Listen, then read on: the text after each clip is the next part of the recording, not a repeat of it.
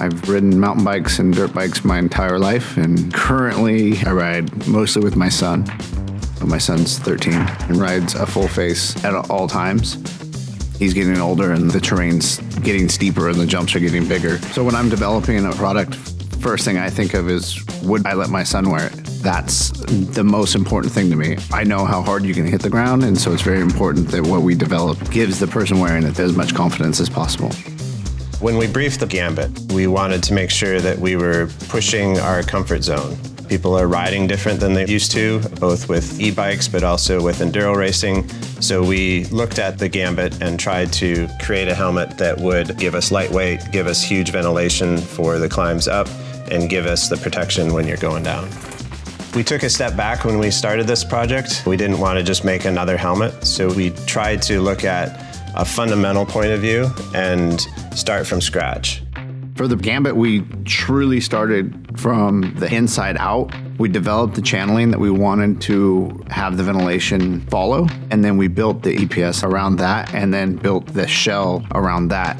By being able to go from the inside out, you get the protection and the confidence you need but still have the ventilation that you would have with a half shell. The Gambit has a few features that kind of stand out. You have that DH certification on a full face, you have the volume that you're looking for, and you have that confidence inspiring feel having that chin bar there. We spent a lot of time and a lot of prototypes to make sure that the chin bar and the visors were in the exact right spot.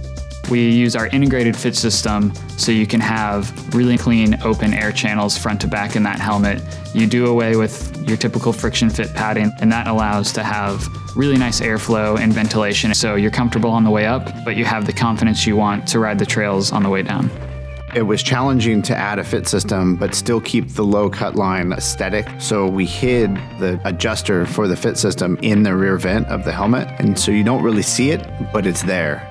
Part of what makes the Gambit really unique is the construction and engineering process we used. We have a three layer system where we have a carbon shell on the outside, EPS foam on the inside, and then PC reinforcement sandwiched in between. With that construction technique, it allows us to have five separate pieces of EPS foam so we can specifically design what density foam we put into what location in the helmet, which just helps with our impacts and performance of that helmet every last little detail was thought of when we were designing this helmet. We have this very symbiotic relationship between the designers and the engineer, and I think we ended up with the pinnacle of what a lightweight full face should be. It not only is amazing looking, it functions on every aspect that we wanted it to. The Gambit, we set out with this like unobtainable goal, and we surpassed that goal. It is a dream project and a dream product.